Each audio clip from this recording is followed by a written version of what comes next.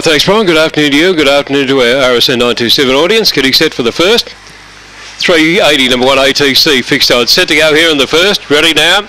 Set, go. They're racing. ATC down on the inside a little bit slow to begin. And Just Missy was out the back and showing speed after the start there. Cup half full has gone through to take the lead settling over Calora Davy. About two lengths away then came Excursus the third, three or four lengths away. Toby's Taxi followed by Just Missy. Well back there, Jan Ray, Lady Muck and they were followed then by ATC and Frothy Fire in the straight though. Cup half full's going great guns. It'll win by two and a half to three. Calora Davy second, third is Toby's Taxi followed then by Excuseless. Back over on the outside Just Missy, followed then by Frothy Flyer. Last couple ATC and Janray Lady Muck.